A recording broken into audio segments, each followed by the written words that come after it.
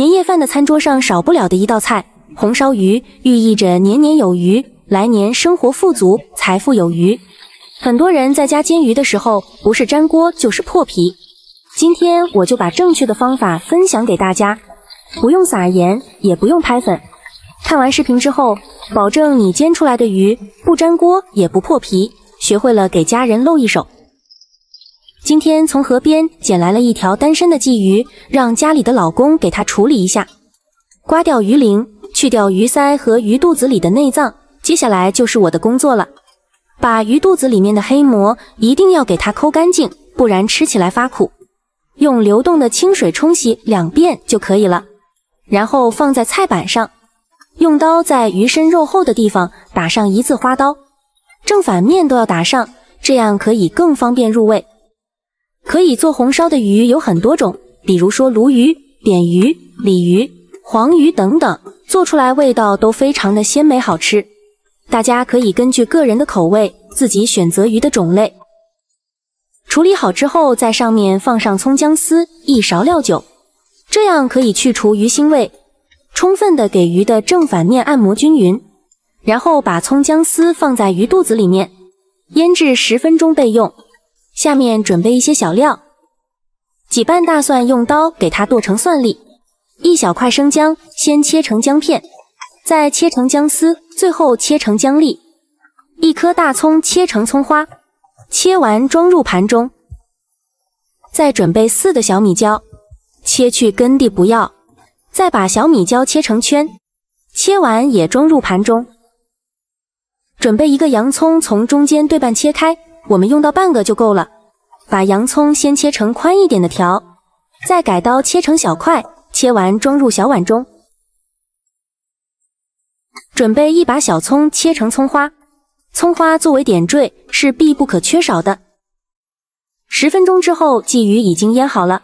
然后把鲫鱼放在流动的清水下面，洗掉表面的粘液，肚里面的葱姜也给它掏出来，不要。这样清洗过的鲫鱼，腥味就减少了一大半。然后放在菜板上，用厨房纸把鲫鱼正反面的水分都给它擦干净。这也是煎鱼不粘锅的一个小技巧，同时还可以防止在煎鱼的时候油崩溅的到处都是。接下来准备一口大铁锅，开大火把锅烧至冒烟，然后再倒入多一点的食用油，晃动一下锅子，让食用油浸润锅的每一处。烧一分钟之后，将热油倒出来，再次往锅里面倒入凉油，这也是煎鱼不粘锅的第二个技巧。热锅凉油放入鱼，这样处理过的铁锅一点都不粘。把鱼放进去之后，先不要打动它。保持锅动鱼不动的状态，把鱼头鱼尾都煎一下。把鱼放进去还不到三十秒，鱼已经在锅里面滑动了。然后晃动一下锅子，让鱼受热均匀。把鱼煎三分钟，才煎了还不到一分钟，锅里的鱼竟然自己蹦起来翻了个面。这个画面没有录到，真的是可惜了。我还是头一次见，大家有没有遇到过这样的情况？咱们接着煎鱼，把鱼煎至底部金黄。翻面煎另一面，看一下我们煎的鱼，真的是一点都不粘，在锅里面非常的丝滑。煎到两面金黄熟透，给它盛出来，装入盘中备用。锅中留少许底油，放入切好的葱姜蒜、小米辣爆香，再倒入切好的洋葱，给它炒出香味。这些食材都是可以起到去腥增香的作用。然后开始调味，加入一勺生抽，一勺蚝油。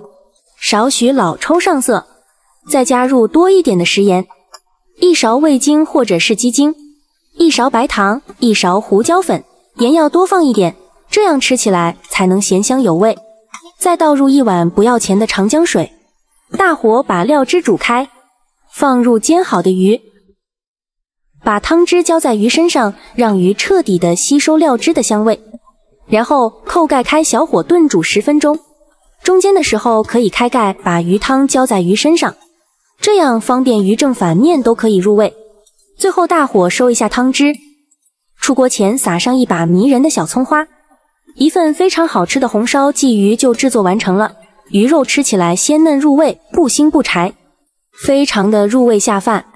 每年过年，我家年夜饭的餐桌上都少不了这道红烧鱼，寓意红红火火，年年有余。红烧鱼的营养价值也很高，大人小孩都爱吃。如果您喜欢的话，就收藏起来，在家试试吧。